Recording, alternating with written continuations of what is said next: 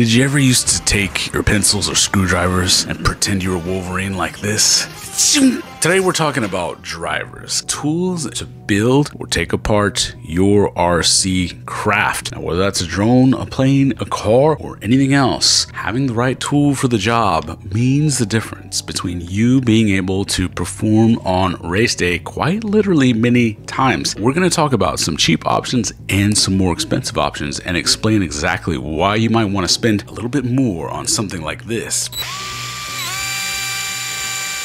I'm gonna go from the cheapest to the most expensive. When you first start off, everyone gets a cheap set of hobby drivers like this. These can be had for about $12 for a set of four drivers. This is just another flavor of that.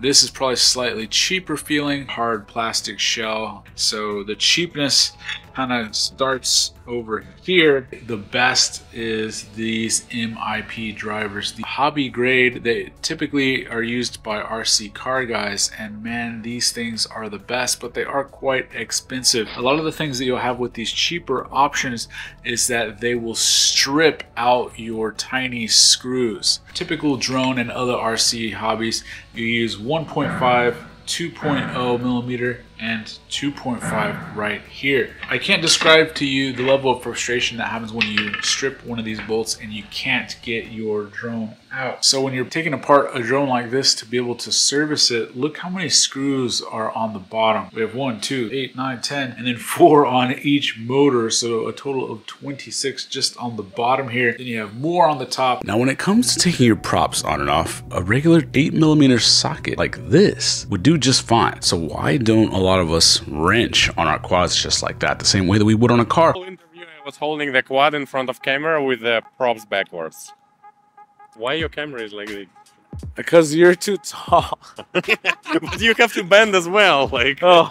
And that's because not only are you going to be doing this quite often, but because of that, and because of the nature of RC, you need to not wear out your hands because you're going to be doing quite a bit of very fine motor control activities using your thumbs. So whether you're a gamer, a piano player, a saxophone player, or a drone racer, you're going to need to save your hands and your wrists. You don't want to be inducing carpal tunnel by doing this repetitive motion 15,000 times in 20 minutes. That's where something like this is extremely expensive. It is the pinnacle of FPV opulence. It is luxury in a hobby that is already full of quite a few tiny luxuries. But if you want to go big or go home, there is no substitute. That's where these powered options come in. For the power options, you have these small ones. They don't have a lot of power. This is the WOW stick. This one runs on AAA batteries. This one has its own internal battery that you charge with USB, but it comes with a list of heads that you can use. Those really don't work for hobby grade, so I had to buy this 2.0 separately. And as you can see, this bad boy is about 75 bucks. It comes with the battery. This is a gyroscopic screwdriver. So it kind of turns automatically when you hit the button. You turn to the right, it turns to the left. You turn to the left, it turns to the left. The Excalibur of FPV tool. This is premium, but it's manual. It's basically a lightsaber for removing fasteners. There's one. There's two. Three. It's almost instantaneous. Okay, now we're going to do the opposite test. How long does it take to put a set of props on here? Now this thing is super powerful. It is an elegant weapon from a more civilized time, but because it is so powerful, you have to really be careful with how you hold your prop. Normally when I was doing a thing by hand, Mind what you normally would do. I would hold it like this with my thumb kind of uh, keeping this part of the prop steady. This will totally spin this so hard that it will just cut right through your thumb.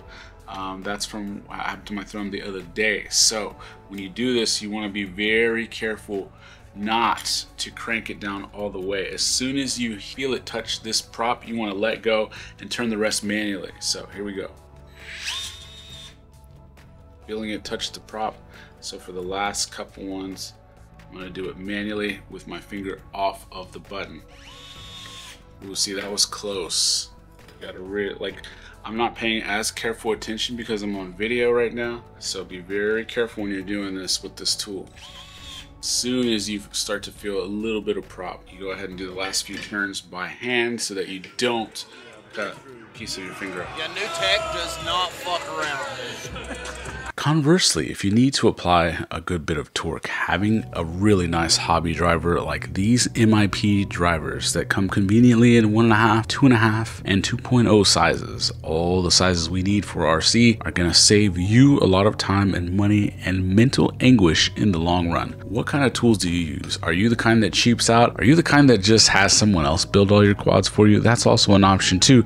But until the price pools get bigger until the YouTube channels grow stronger. Not all of us can afford our own pit crew the way that a Formula One or NASCAR team would do. And being that we're gonna have to wrench on our own stuff, I wanna be able to save my fingers all the aches and pains that they might have over time for wearing out getting stick time, not fix time.